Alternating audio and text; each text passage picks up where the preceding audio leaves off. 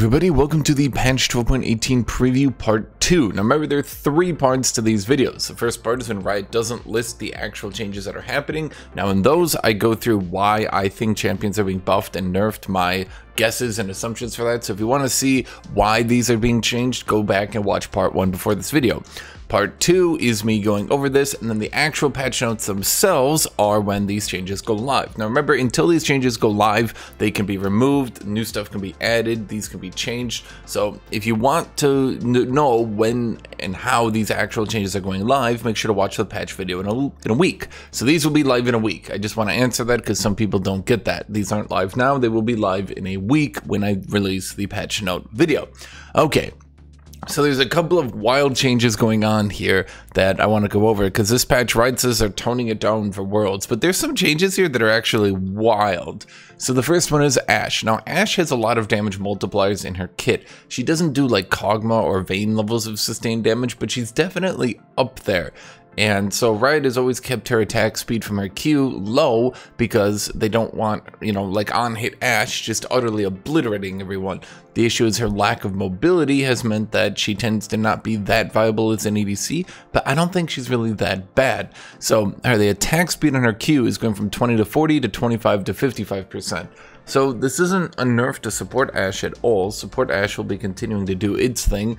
Um, AD Ashe, bot Ashe, carry Ashe will now be much better. I'm a bit wary of these changes because again on hit Ashe was actually seeing some viability and uh, buffing the damage I, I, think some of you don't realize how much damage an Ashe does when she's allowed to actually attack and so buffing that even further is going to be a bit uh, scary Thresh is getting 5 more health per level, and the damage on his E is going up by 10 to 30. So this is Riot continually buffing Thresh's damage. Um, I don't really know why they're doing that. Uh, I, I, guess they're trying to make sure that he can kill people through the durability update. I really don't think it's a good idea for Riot. Like, they are giving him more health, but like Thresh never did damage because he has a shitload of CC. If his issue is that he's too squishy, then maybe you should make him less squishy with, you know, more health growth or shielding or stuff like that. Just lopping on more damage just seems like, oh man, the Thresh can't one-shot people. Let's bring that back. Like that was a point of durability meta was that if Thresh hits his Q, he you don't just instantly die from full at level two, you know? Okay. So Lee Sin is getting uh, six more health growth. Wow, his health growth was really low. And the amount of uh, life steal slash spell vamp he's getting at his W. I don't know why they don't just change that at this point, but whatever. The amount of vamp he's getting at his W is going from 5 to 23 to 5 to 27. So max rank, his W will be healing him for 4% more. Um, they were trying to keep that low to try to keep top Lee Sin from uh, dominating again. So I, I don't think top Lee Sin's going to come back. I don't think so. I, probably not. But um, yeah, overall, so they're not buffing Lee Sin's damage. They're just buffing his survivability, his 1v1 capabilities, which is probably fine. Yeah. This is a change that scares me. Okay, so currently Wither slows your attack speed by half of the amount of uh, movement speed it slows. So up at max rank with max blah blah blah, right? Like it, it could slow up to um, something like 50% of your attack speed at the last second of Wither, right? At max rank. So they're changing it instead of slowing by 50% of the movement speed, it's going to slow your attack speed by 75% of the movement speed. Now, just to keep that into perspective, that's a lot, okay? Wither slows by 35%, and then based on your rank, it then moves up from there. So if I, uh, yeah, I'm, I'm, I'm, gonna just open this up right now. Currently, the maximum cripple, the maximum amount that it can slow your attack speed is 23.5 to 47.5%. So that's about right. That being buffed and by going from 50 to 75% means that this number is going to go up 50%. So it's going to be over a 30% attack speed drop and um, nearly, I'll just call it a 70, 70% attack speed drop in max rank. This is kind of scary from Riot, and I'm not entirely sure this is a good idea. I'm just gonna say it actually. I think this is quite a bad idea. Um, the attack speed slow on his W was already good. It let him win a lot of matchups. It was quite frustrating to fight back into. Making it even higher, I'm not sure that's a good idea. This second change, I'm a bit sketchy on, but whatever. They're reducing his ultimate from 120 seconds cooldown to 110 to 90 I think this change alone is a good change that will make like the champion a lot better. I'm not sure what this change is. This change is bad. This is a bad idea. We we might start seeing shit like support Nasus because AD carries are going to really struggle to deal with being withered. Remember, they're slowed down considerably, okay? It's not just the attack speed slow, but screwing over their attack speed at the same time that they can't move or fight back, that's pretty brutal. Um, I'm not sure that's a good idea coming in from Riot. There's already a lot of champions who force the ADC to go cleanse, to have cleansed to even fight back. This this seems like a really sketchy idea, Riot. I don't, I don't know if this is a good idea. I'm going to say it. This is a bad idea. This is a real bad idea. Do not do this idea, okay? Miss Fortune, her attack damage growth is going from 2.7 to 2.4. So that's not that much, but whatever. Her HP growth is going from 107 to 103. So 4 less health per level, 0.3 less damage per level. Um, I think what Riot's trying to do is force Miss Fortune to be more of an early game champion and less of a late game champion, which is weird considering they buffed her late game earlier. Okay, I guess they're reverting and they're going and they're saying, oh, now she's an early game. Just to be clear, her, her win rate is totally out of line. So um, reducing her scaling, reducing some stats. I, I think, okay, actually, I, I know what they're doing here. Come to think of it. So she was doing a lot better at the low ranks and the high ranks. She's doing overpowered at all ranks, but she's really, really overpowered at the low ranks and only kind of overpowered at the high ranks. So I think what Riot is doing is they're trying to target her late game to affect the low ranks more. Because remember, uh, at the low ranks, late game matters more. At the high rank, early game matters more. So I think they're trying to keep her viable um, across all ranks by screwing her uh, low ranks more than her high ranks. I think that's it. Kalista's losing 40 HP baseline, so her early game is going to be considerably worse. Um, this should hopefully kill top Kalista, maybe? At the very least, this should make bot Kalista far squishier. 564 is pretty low, even with the durability update, that's now getting into the lower numbers. So yeah, large, large, large nerfs on Hecarim and Kayn here. I'll just say those two. Hecarim, the AD ratio on his Qs going from 95 to 90%. That matters because he Qs a lot. The ramping damage on his Qs going from 6% per 100 AD to 5% per 100 AD. Remember, that stacks three times, potentially.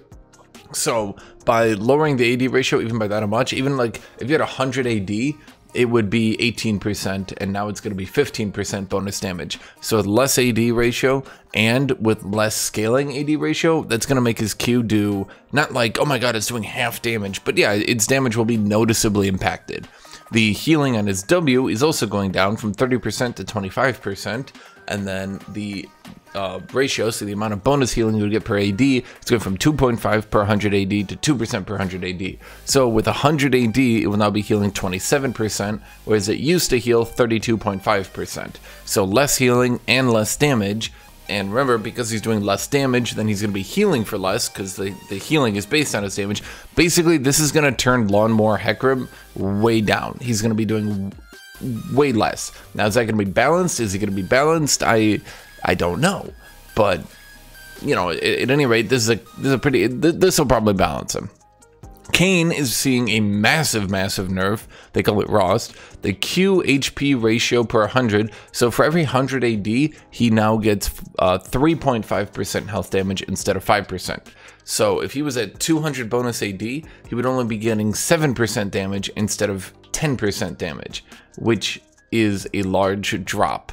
That that that's a very large nerf to his damage, uh, particularly into the late game. Remember, he heals based on his damage dealt, so by reducing his damage, they're also considerably reducing his healing. I thought Red, like I thought Rhaast was like a little bit overpowered. This seems like a fairly large nerf uh, to the champion. So yeah, Lulu. Okay, so the W movement speed is going from 30% to 25%. That's the amount of movement speed she can give herself or an ally. Now, finally, Riot, after 12 billion years, is finally realizing all CC got nerfed in duration a long time ago, except for Polymorph. Now, they gave the duration back to Fiddlesticks' Fear, but that's because it's Fear. That's like it's his thing, right?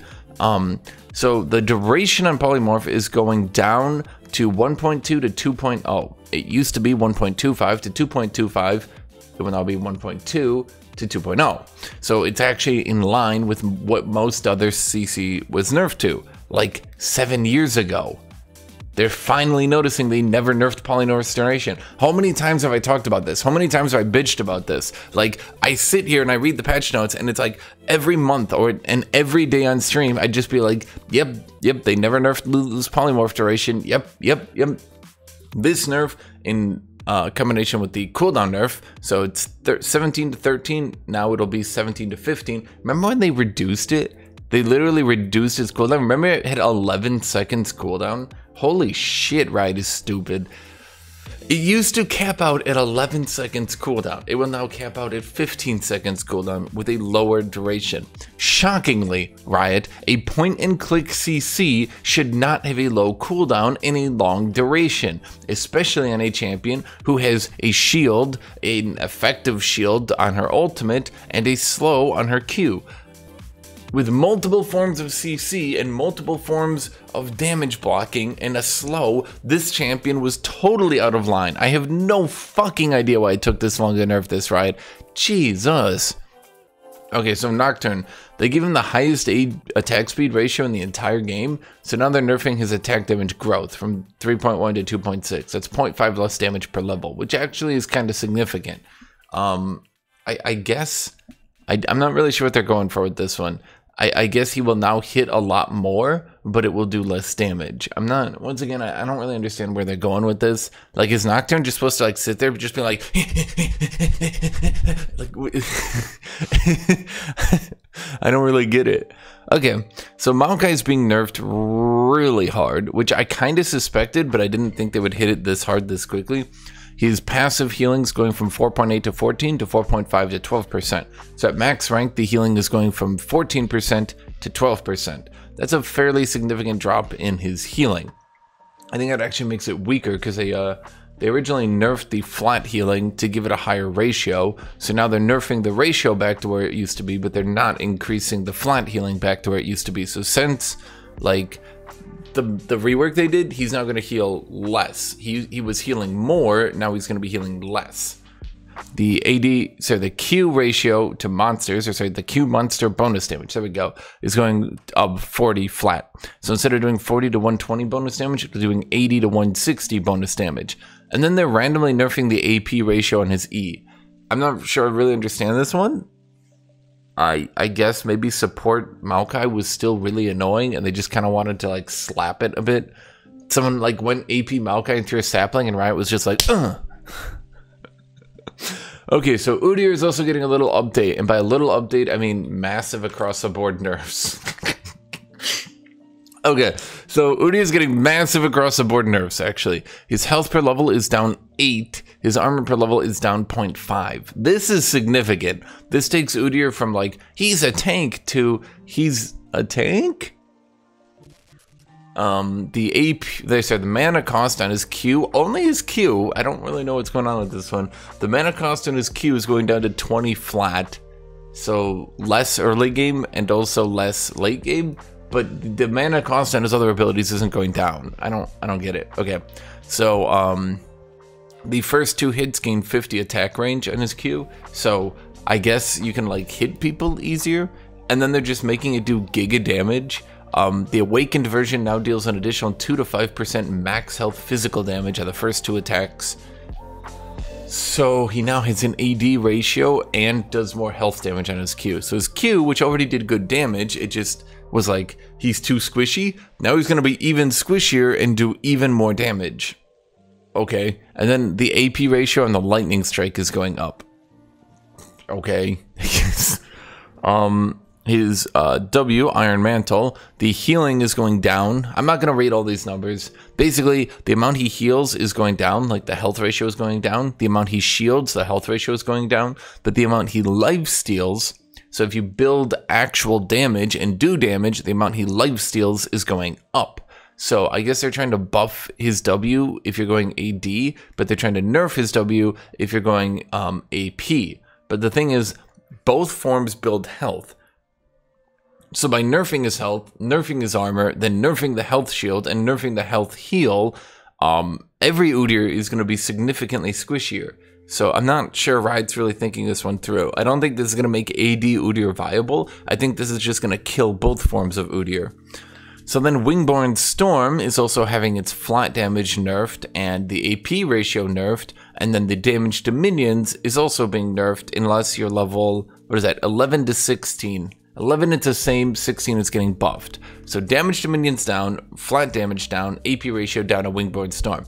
So AP Udyr is seeing massive nerfs, all Udyr is seeing nerfs, AD Udyr is seeing some buffs. I'm gonna be honest, I think this just kills every form of Udyr. I don't think that this makes like AP Udyr better. I think this just makes AD Udyr worse.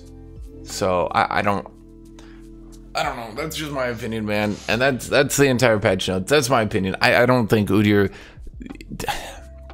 unless I horribly misread his numbers or he's just like way more broken than I could possibly have thought. It kind of sucks because my last two videos on like how to play a champion were Udyr and Maokai, and now Riot's killing Udyr and Maokai. oh well. Oh well, that's why I tried. To, that's why I tried to put out those videos as fast as I could because I knew that shit was coming. You guys should listen to me. I'm smart as shit. I give you guys the best builds as fast as I can. Okay, so these won't be live for a week though. Okay.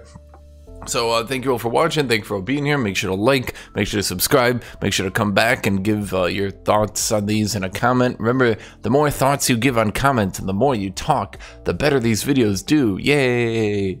Um, special shout out to my Patreon supporters. You guys continue to make videos like this possible and uh, continue to allow me to continue to make these videos. Special shout out as well to my YouTube members. You guys are amazing. Thank you for being here.